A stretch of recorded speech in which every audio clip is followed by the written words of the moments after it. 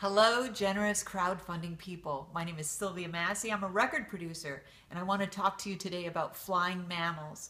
Flying Mammals is a band from Idaho with three brothers, and we're planning on going into the studio this fall to do their new album, Fear. We could use your help. Uh, the three brothers in the band are known for their stage antics, including Aaron, the singer slash bass player slash keyboardist, jumping on a trampoline on stage. Now, what about having him jump on the trampoline in the studio while he's doing vocals? We're going to try some things. We need your help. Let's do it.